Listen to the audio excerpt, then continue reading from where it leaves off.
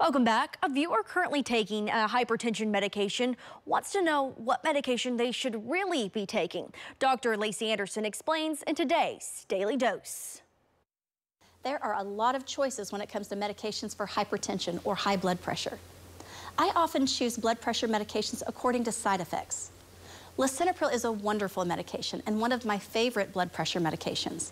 It's inexpensive and helps protect kidney function, so it's a good choice for patients with diabetes. It can cause a dry cough in some people, so that can cause us to make a medication change for those with that side effect.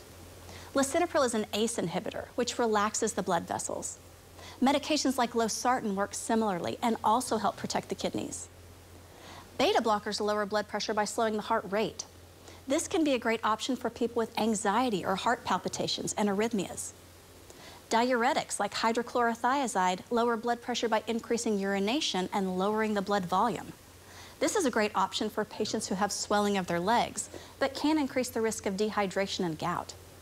I choose medication for patients based on each individual person and don't feel like there is one best medication for everyone, but your doctor can help you choose which one may be the best for you. Take care and good luck. Of course, if you have a question for Dr. Lacy Anderson, call the hotline at 841-9999 or email dailydose at news9.net.